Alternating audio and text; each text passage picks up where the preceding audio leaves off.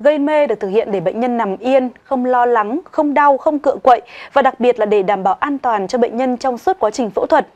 Công đoạn này tưởng chừng đơn giản nhưng lại rất quan trọng trong quá trình phẫu thuật. Và trên thực tế thì trong quá trình gây mê, nhiều rủi ro có thể xảy ra với người bệnh. Và sau đây là một vài khả năng gây mê có thể gây ra tử vong.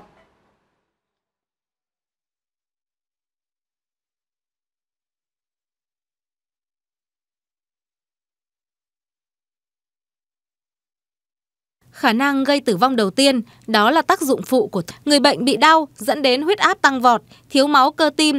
Thưa quý vị, gây mê và thuốc gây mê được coi là một thành tựu quan trọng của y học, nhưng cũng chỉ mới ra đời từ khoảng à, cách đây không lâu, đó là từ giữa thế kỷ 19, với ca gây mê thành công đầu tiên và được công bố rộng rãi vào ngày 16 tháng 10 năm 1846.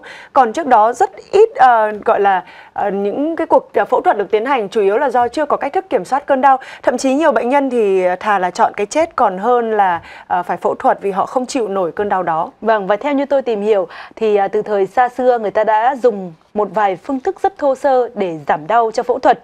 À, giống như là cho người bệnh uống rượu say rồi mới mổ.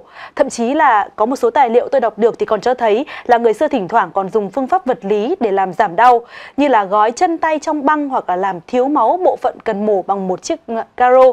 Đặc biệt là phương pháp làm mất chi giác của người bệnh bằng cách đánh mạnh vào đầu cho bất tỉnh hoặc là bóp cổ cho nghẹt mạch máu để làm mê man.